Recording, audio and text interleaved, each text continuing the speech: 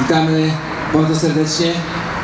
Ja nazywam się Michał Korgol i zachęcam każdego z Was, abyście zatrzymali się, zostali z nami przez kilka minut albo przez tą godzinę, którą będziemy z Wami, ponieważ to, co mamy Wam do powiedzenia, może prawdziwie zmienić Wasze życie, tak jak kiedyś zmieniło nasze. Większość z Was zapewne teraz zaczyna przygotowywać się do nadchodzących świąt. Te święta bardzo mocno wpisały się w tradycję i kulturę naszego kraju, naszego bytu. Tak naprawdę jednak mało kto dzisiaj zastanawia się w ogóle o co chodzi. O co chodzi z tym Bogiem.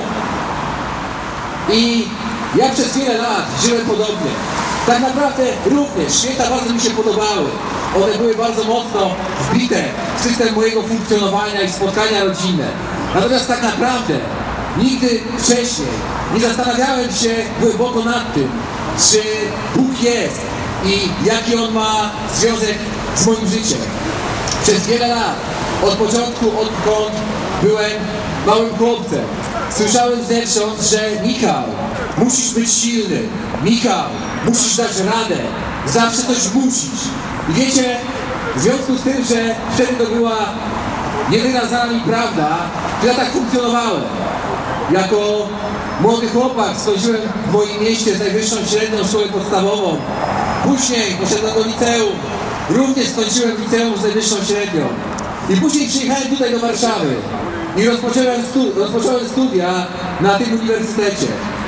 Skończyłem z wyróżnieniem studia na Wydziale Prawa i Administracji. Cały czas chodziłem według tej moduł, że coś muszę, że muszę. Jak większość z Was, ja też chciałem być w życiu szczęśliwym. Chciałem być zaakceptowany i chciałem osiągnąć sukces. Wydawało mi się, że jak będę miał pozycję, jak będę miał pieniądze i dobre wykształcenie, to właśnie o to chodzi. To będę szczęśliwy w życiu. Bardzo szybko, kiedy więc skończyłem studia na tym wydziale, zacząłem budować wielką firmę. Zacząłem robić karierę, bo wydawało mi się, że to jest jedyna droga do, do, do szczęścia. Tak jak wspominałem wcześniej. Tak myślałem i bardzo szybko zostałem współwłaścicielem 200-osobowej kancelarii prawniczej w tym mieście. Pojawiły się w moim życiu duże pieniądze. Zbudowałem z moją żoną, która jest tutaj zresztą ze mną, zbudowaliśmy piękny dom. Wyjeżdżaliśmy kilka razy w roku na zagraniczne wakacje. Mieliśmy nawet samochody. Generalnie dla wszystkich moich znajomych byłem człowiekiem sukcesu. Podchodzili do mnie, klepali mnie po plecach, mówili Michał, to o to chodzi. Osiągnąłeś w życiu sukces. Wiecie, ale prawda o mnie była taka, że byłem mistrzem świata w zakładaniu masek. Każdego dnia udawałem kogoś, kogo ten świat oczekiwał, że mam być. Zbudowałem sobie taki produkt, ale kiedy byłem sam na sam ze sobą, kiedy byłem sam w domu, wtedy się bałem, zastanawiałem się, co będzie jutro, ale dalej, budziłem się kolejnego dnia, dalej, chodziłem spięty i udawałem twardziela. Byłem tym mistrzem świata, mało kto wiedział, ale ja wiedziałem, że nie o to chodzi. Kiedy myślałem, że zrealizuję się w posiadaniu i zacząłem wydawać pieniądze, żeby budować swoje ego, bardzo szybko przekonałem się, że znowu, że to nie o to chodzi. Wiecie, byłem intelektualistą. Organizowałem z Ministerstwem Sprawiedliwości konferencje, wywody prawnicze. Ale w gruncie rzeczy wiedziałem, że to w ogóle nie o to chodzi, że mi chodzi o tą pozycję. I właśnie wtedy, z tego miejsca, tak jak wy dzisiaj, usłyszałem te proste słowa Ewangelii. Usłyszałem, że Jezus Chrystus umarł za mnie. Wiecie, w pierwszej chwili w ustach intelektualisty brzmi to niedorzecznie. Przecież tak naprawdę to ja sam dla siebie byłem Bogiem.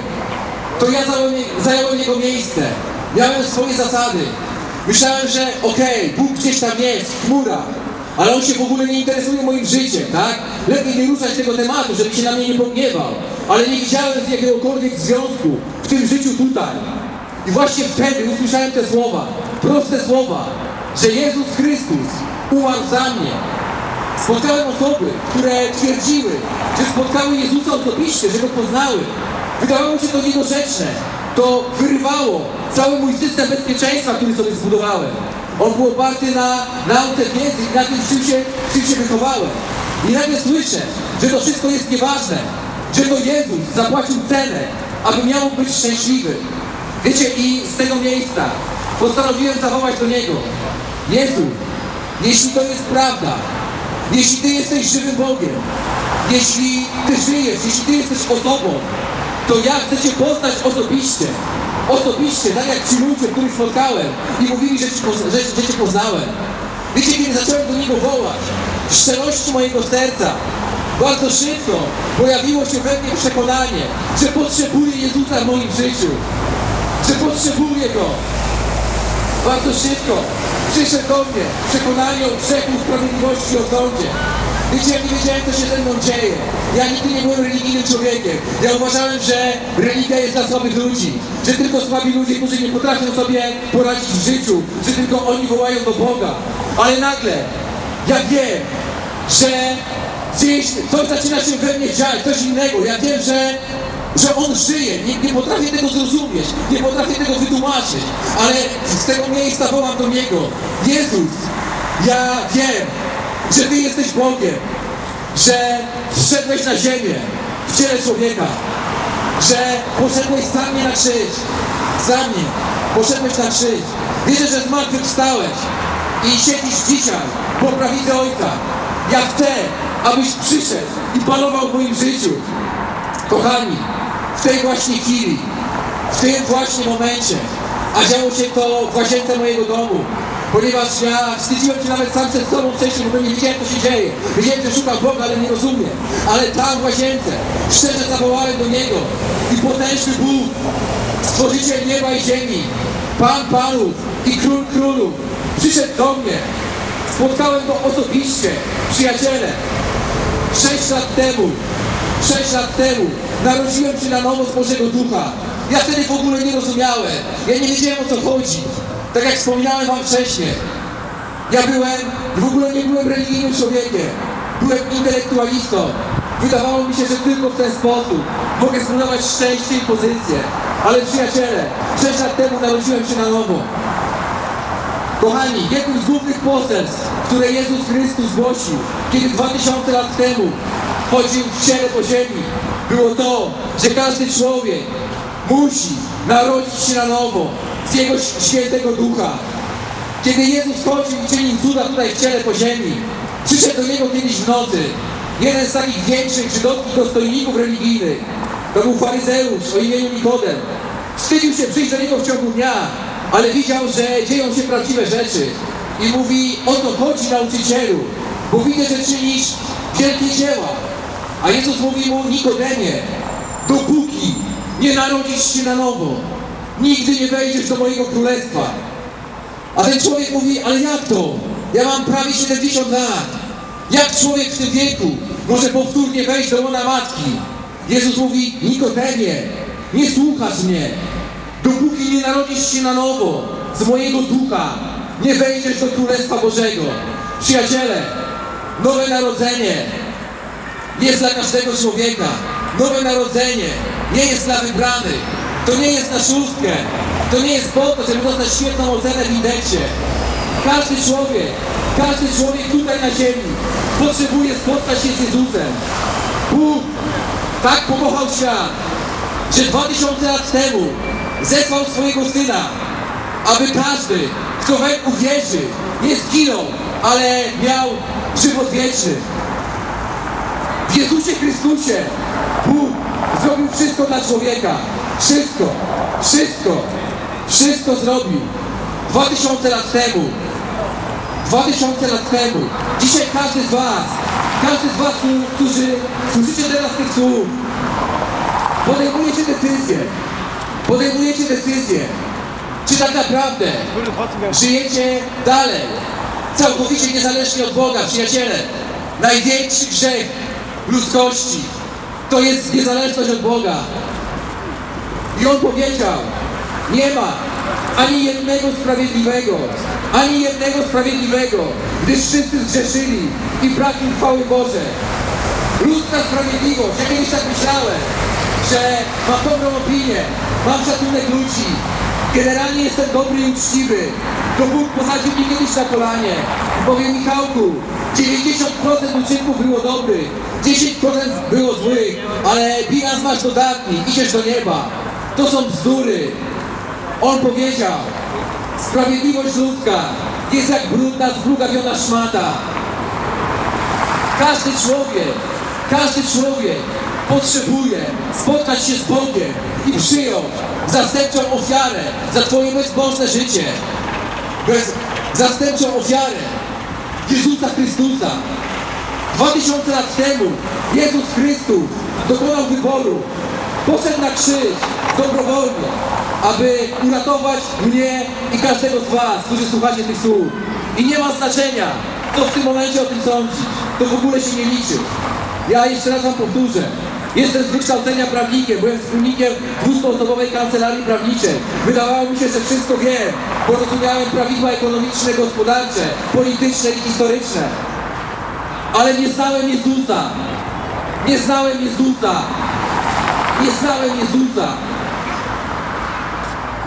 W tym momencie, przyjaciele, kiedy słuchacie tych słów Ewangelii, w swoim sercu podejmujecie decyzję, podejmujecie decyzję, albo zostajesz przy swoim i nadal jesteś niezależny, albo mówisz, Boże, ja nie rozumiem, co ten człowiek mówi, ale ja wiem, że w tym jest życie. Ja rozpoznaję to życie i ja chcę iść za tym głosem, ja chcę iść za tym życiem. Zobaczcie, żyjemy w kraju, podobno w kraju, który jest chrześcijańskim krajem. Jakby tu wyszedł jakikolwiek małpiszon i zaczął tańczyć i skakać, to znalazłaby się grupa osób, która biłaby mu brawo. Ale jeśli wychodzi człowiek i prezentuje Chrystusa, takim jakim On jest naprawdę, i powtarza po Chrystusie słowa życia, bo ja właśnie to robię, to od razu wzbudza kontrowersje. Przyjaciele, życie Jezusa wzbudzało kontrowersje. Finalnie, finalnie zostało z nim 120 osób, ale te 120 osób narodzonych z Bożego Ducha, narodzonych z Bożego Ducha, zmieniło historię tego świata. 2000 lat temu 2000 lat temu Jezus Chrystus pokonał diabła, pokonał, rozbroił wszelkie nadziemskie władze, zwierzchności i panowania. On to zrobił dla Ciebie, z miłości, za darmo. Na zbawienie żaden człowiek nie jest w stanie zasłużyć na zbawienie. Nie możesz być na tyle porządny, nie możesz być na tyle uczciwy, nie możesz być na tyle dobry. Nie możesz. Ja tak przez wiele lat myślałem. Usprawiedliwienie jest z łaski z łaski przez wiarę. Łaska to niezasłużona przychylność Boga dla człowieka. Za darmo. Wystarczy. Wystarczy, że tak jak jadę 6 lat temu, zawołasz do Niego, Jezu, ja wierzę, że Ty jesteś Bogiem, że zszedłeś na ziemię w ciele człowieka, umarłeś za mnie, zmartwychwstałeś i siedzisz po prawicy Ojca. Ja zapraszam Cię do mojego życia. Chcę, abyś realnie panował jako mój Pan i Zbawiciel. Oddaję Ci moje życie, a już dzisiaj zostaniesz obywatelem nieba. Tam, dwa tysiące lat temu, nastąpiła wielka wymiana krzyżowa. Przyjaciele, Jezus nie wisi dzisiaj na krzyżu. Jego tam nie ma. To potężny Bóg. On tam poszedł, aby Cię uratować. Wziął na siebie karę, zapłacił cenę za Twoje życie. Za Twoje życie bez Niego. Tak Cię pokocha. Tak Cię pokocha. Ty dzisiaj decydujesz. Ty dzisiaj decydujesz. Jak żyjesz. To pytanie Jezusa, które zadawał swoim uczniom 2000 lat temu, kiedy chodził w ciele po ziemi. Czego chcesz? Czego chcecie? Czego chcecie? Za 10 dni spotkacie się przy świętach Bożego Narodzenia. I co? Sprowadzicie to do 12 potraw, choinki, bombek i prezentów. To bzdura jest. To jest bzdura. 2000 lat temu Jezus Chrystus, Bóg, zszedł na ziemię w ciele człowieka, aby się uratować. Pytanie, co z tym zrobić? Pytanie, co zrobić z tymi słowami, które zostawiam Ci dzisiaj? Zobaczcie, kolejna osoba ma z tym problem. Mógłbym tutaj tańczyć, mógłbym śpiewać jakieś brawo, skakać przez cokolwiek. Nie przykręcę, bo Jezus Chrystus powiedział tak. Cokolwiek powiem Ci na ucho, na dachach będziesz głosił. Będę. Przyjaciele, to o to chodzi. Jezus to Bóg. Jezus to Bóg. Kieruję do Ciebie dzisiaj pytanie. Czy Go poznałeś? Czy Go poznałeś? On jest osobą. On jest osobą i On żyje. Nazywam się Michał Korgo. Jestem tutaj po to, aby moim życiem zaświadczyć Ci, że Jezus żyje. Że Jezus żyje. Po pierwsze, więc tak jak powiedziałem, 2000 lat temu ten zakres wymiany krzyżowej spowodował, że jeśli dzisiaj uwierzysz, bo dzisiaj, kiedy słyszysz te słowa, jest dzień zbawienia. Dzisiaj. Jeśli dzisiaj uwierzysz, dzisiaj zostaniesz obywatelem nieba. I jeśli by teraz skończyło się to, co nazywa się dziś, a to się kiedyś skończy, bo Jezus powiedział, niebo i ziemia przeminą, ale słowa moje trwać będą na wieki, to jeśli Ty podejmiesz decyzję, jeśli dzisiaj spotkasz się z Nim, zostaniesz obywatelem nieba. Po drugie, przez resztę Twojego życia tutaj, tak jak ja od 6 lat, będziesz doświadczał nieba na ziemi. Przyjaciele, wspominałem Wam, że zanim spotkałem Jezusa, byłem przedsiębiorcą. I nadal jestem przedsiębiorcą, tylko jestem skuteczniejszym przedsiębiorcą. Kiedy spotkałem Jezusa i kiedy On zaczął zmieniać moją duszę, nauczyłem się kochać. Wydawało mi się do tej pory, że ja rozumiałem miłość, ale ona była tylko sentymentalna, nastawiona, żeby brać, zagarniać do siebie. Dzisiaj kocham i potrafię być kochany. Dzisiaj niczego się nie boję. Przyjaciele, mówię do, do każdego z Was, którzy doskonale wiecie, o czym mówię. Udajesz twardziela, śmiejesz się, szydzisz, jesteś gość, masz swoje zdanie. Przy dziewczynie, żonie, kumplach. Ale kiedy jesteś sam, masz, nie wiesz co się dzieje i nie wiesz co będzie i się boisz. Ale nie widzisz punktu wyjścia i dalej udajesz twardziela. To ja Ci mówię teraz, bo ja byłem mistrzem świata w chodzeniu w maskach. Na zewnątrz wydawało się, że nie ma twardszego człowieka, że nie ma silniejszego. Ale to była tylko poza. I sukcesy zewnętrzne nie odpowiadały temu, co przeżywałem. I mówię Ci, kiedy zawołałem do Jezusa, kiedy powiedziałem przyjdź i mnie uratuj, bo wiem, że jesteś Bogiem. I nic nie rozumiałem więcej. Nic nie rozumiałem. Nigdy wcześniej nie czytałem Biblii, bo uważałem, że tylko słabi ludzie ją czytają. Ale On przyszedł. On przyszedł na moją decyzję, na mój, na mój akt wiary. Spotkałem się z żywym Bogiem. On powiedział, kładę przed Tobą błogosławieństwo oraz przekleństwo. Błogosławieństwo oraz przekleństwo. Życie albo śmierć. Wybierz życie, abyś żył. Każdy człowiek, każdy człowiek, który słucha tych słów, podejmuje decyzję. Podejmujesz decyzję, czy idziesz za Jezusem, czy masz go nadal gdzieś. To jest Twoja decyzja.